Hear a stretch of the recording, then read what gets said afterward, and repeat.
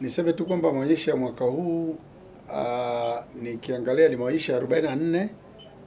E, kwa bahati nzuri tumetoka tu kwenye COVID 19, lakini bado ushiriki wa watu umekuwa wa kuridhisha, lakini pia tunafanya maonyesho haya tukiwa uh, tumefanikiwa hivi karibuni kuingia katika nchi ambazo zinafanya vizuri kiuchumi duniani, nchi hamsini ambazo ziko kwenye uchumi wa kati.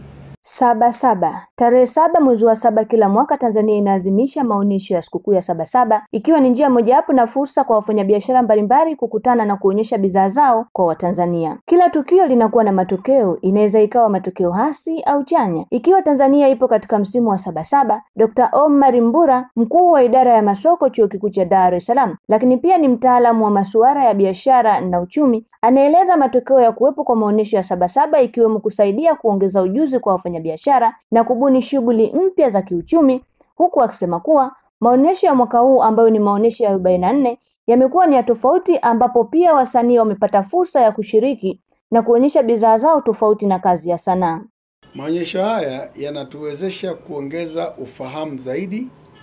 Uh, ufahamu kwa maana ya kwanza, wazalishaji wenyewe wanajifunza kutoka mataifa tofauti tofauti, lakini hata ndani kwa ndani wanajifunza kutoka mmoja kwenda kwa mwingine, na kwa maana hiyo eh, inatuwezesha sasa kuwa na uwezo mzuri zaidi wa kuzalisha kwa zile shughuli ambazo tunafanya siku zote, lakini pia inatuwezesha kubuni shughuli nyingine mpya za kiuchumi, na hivyo kuwezesha uzalishaji mkubwa, na ifahamike kwamba uzalishaji mkubwa ndio unaleta pato kubwa la la taifa. Lakini hata shughuli yenyewe ilivyo tu, wale wanaofanya pale pia wanalipa kodi, lakini kwa kweli hatuongelei sana.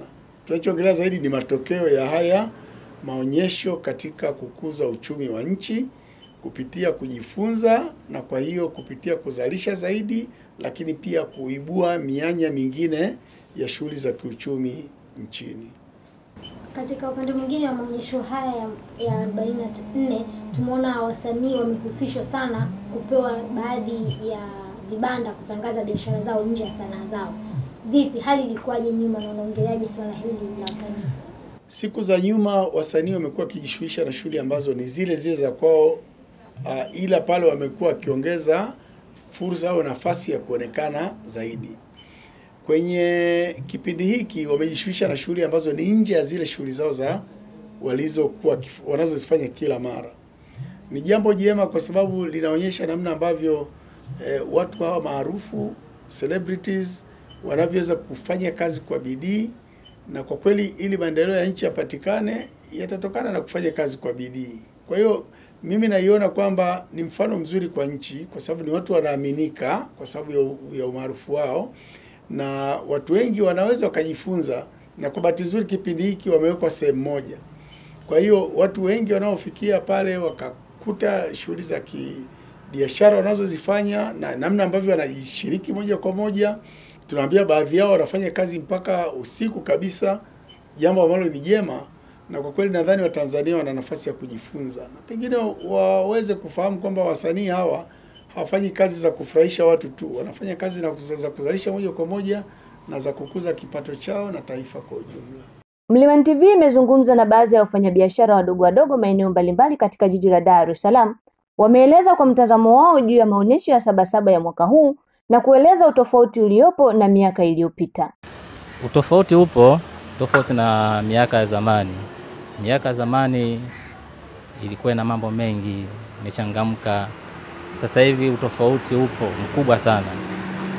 Kwanza kutokana na tatizo lile la maradhi ya korona, eh, pesa hamna, pesa ni ngumu sasa hivi, lakini pia hata huko biashara ndogo ndogo zinalipa eh, biashara ndogo ndogo zinalipa, wateja wako wengi, kuna watu wengi wanapita, wapita njia, ni tofauti na zamani.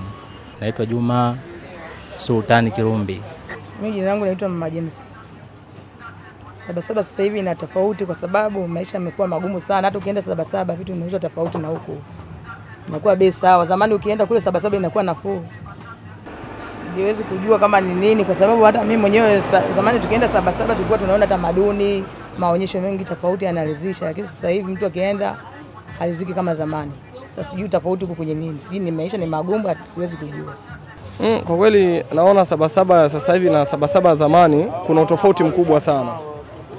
Labda nikizungumzia katika swala la utofauti, kwanza kuna baadhi ya vivutio vingi sasa hivi hakuna. E, vile vivutio ndio saa ingine vilikuwa vinaleta watu na naona kutokana na vitu vingi vingi sana kama labda kuna kingine labda kama viingilio navyo vimekuwa vimekuwa juu sana. Eh, kwa hivyo ni vitu ambavyo vinafanya kwamba Sabasaba inakuwa inakuwa haina muonekano kama ule wa zamani. Eh, zamani ulikuwa mtu ukisikia Sabasaba kwanza unakuwa unapata shauku kwamba ah, Sabasaba kuna baadhi ya vitu vingi sana nikienda hapa naamini kwamba nitavikuta. Lakini kwa sasa hivi vitu hivyo vimekuwa ni hakuna kutokana labda nasema labda e, ugumu wa maisha na sana sana kama viingilio navyo vinakuwa vinawakosti sana watu. E, ni hivyo tu. Sasa unaitwa nani? Mimi naitwa John.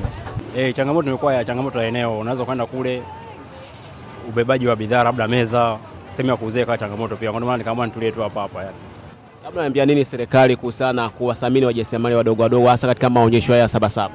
Ah, labda serikali ingeboresha kwamba inapokuwa ifika siku kama hii hapa wake utaratibu kama hujasajili, kama ukishapata usajili labda unapata nafasi mbali ndani moja kwa moja, unaenda unapata sehemu unaweka sehemu yako hata sehemu ndogo tu yani ya kufanyia michemiche zako kwa siku moja tu yani kwamba afu naondoka na ingekuwa poa zaidi yani. Aisha Salum, Mlimani TV, elimu kwanza.